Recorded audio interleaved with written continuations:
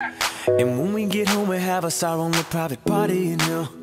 So I don't worry at all about the things they do I say. I love you anyway. You can twerk while in a split.